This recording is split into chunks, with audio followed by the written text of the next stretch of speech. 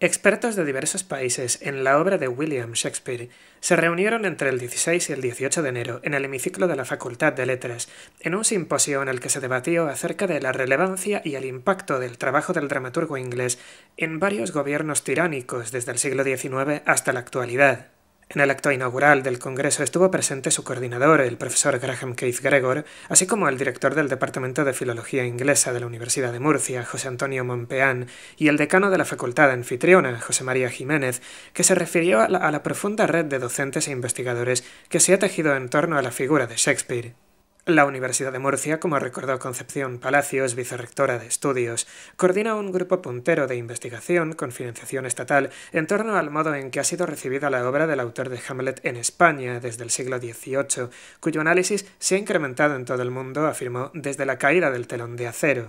Palacio subrayó que en las ponencias de este evento se hablaría sobre los controles de los regímenes en la difusión y publicación de la obra del escritor inglés, las técnicas de la puesta en escena de sus montajes o la utilización de su producción literaria para la construcción de la identidad de los tiranos.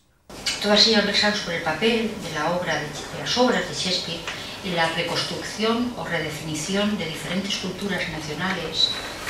en momentos particularmente importantes de la historia de estos países, en momentos traumáticos, y al mismo tiempo sobre la manera